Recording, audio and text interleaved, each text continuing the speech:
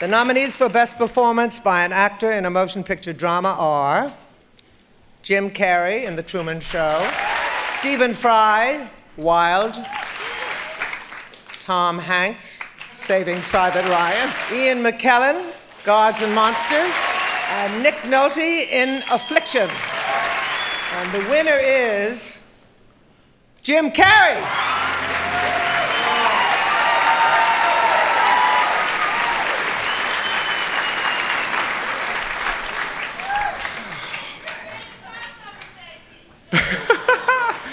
Cammy.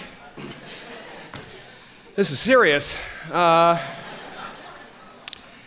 it's going to be so hard to talk out of my ass after this. Uh, but I'll manage. I'll manage. Oh, what a shocker. I mean, if you look back at some of my earlier dramatic work in uh, films like Earth Girls Are Easy and Once Bitten, you might have seen this coming, but. but I really wasn't expecting it, and uh, boy, you know what this means, don't you? I'm a shoo in for the Blockbuster Award. That's right. Oh, yeah. Gosh, where do I start? I'd like to thank Sherry Lansing and Paramount Pictures. Thank you so much for having faith. So much faith in this. Oh, gosh. Scott Rudin for having wonderful taste in material.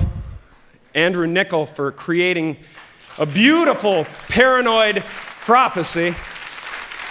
Uh, especially Peter Weir. Thank you, Peter, so much. Thank you for allowing me to play Truman Burbank, for seeing more in me than just funny faces. And uh, I got to tell you that, you know, the way you work and your youthful exuberance, your love of storytelling really inspires everyone in your path. And I, I pray that we get to do it again sometime soon. And uh, I'd like to thank my business team, headed by Jimmy Miller, Eric Gold, and Nick Stevens. I'd like to thank my family, especially my beautiful daughter Jane, my mother and father, and, and the Academy. No, I mean, I'm sorry, I was thinking of something else. And, uh, uh, no, thank you very much, Hollywood Foreign Press. I will really love this. I'll enjoy it so much, right down to the chewy chocolate center. Thank you.